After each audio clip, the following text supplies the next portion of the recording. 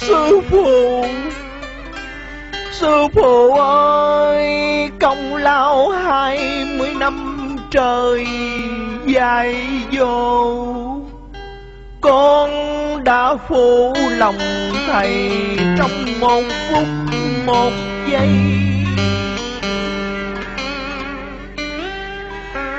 Nhà chùa con không còn giữ được thì ba lại này con xin từ tạ ơn sư.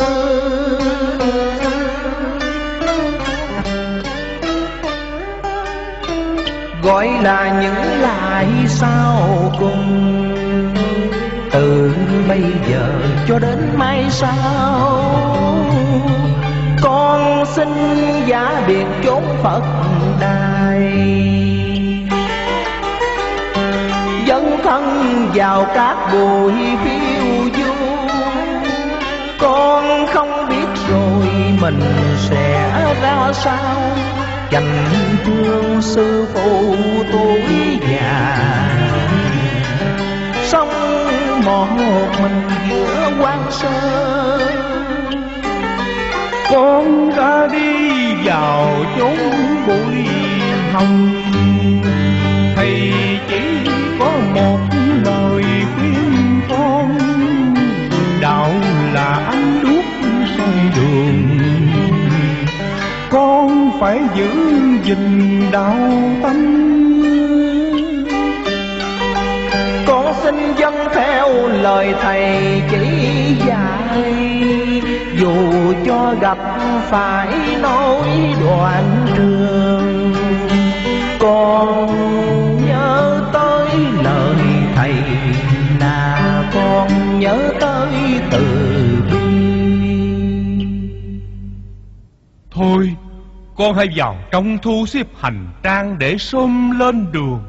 Sư phụ Sư phụ ơi, Từ nay con đành vĩnh viễn Rời xa tiếng nhai, từ giá biệt tiếng kể Lời kinh mãi mãi không còn được nghe mỏ sớm chuông chiều.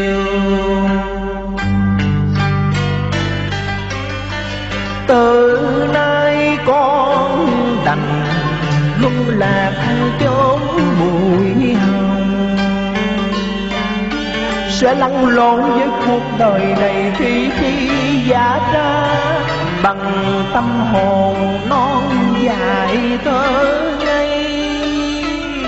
Áo nâu xong con xin gợi trả chốn thiền môn, vì không còn đủ hạnh quát lên người con trời phật ơi, tôi đã vô tâm nhung tay vào tội lỗi bằng tâm tư không gỡ chút lỗi lầm.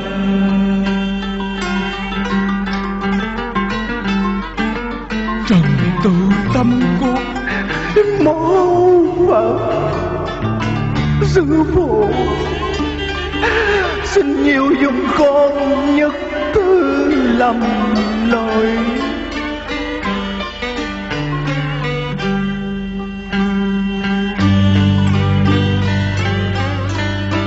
trần tự tâm con ơi, hai năm qua, con là đứa trẻ thơ bất hạnh chùa thiên nhai là nơi con nuôi.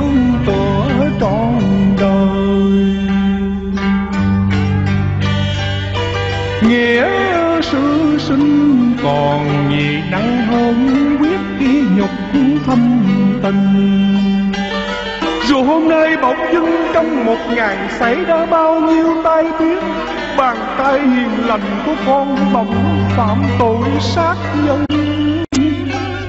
Sư phụ ơi, con người phát giác chuyện hai mươi năm về trước Rằng con còn có một mối thù gia tộc.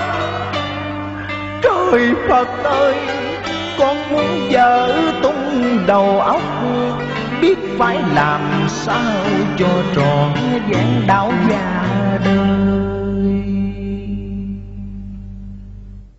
Nam mô thích ca mâu ni phật.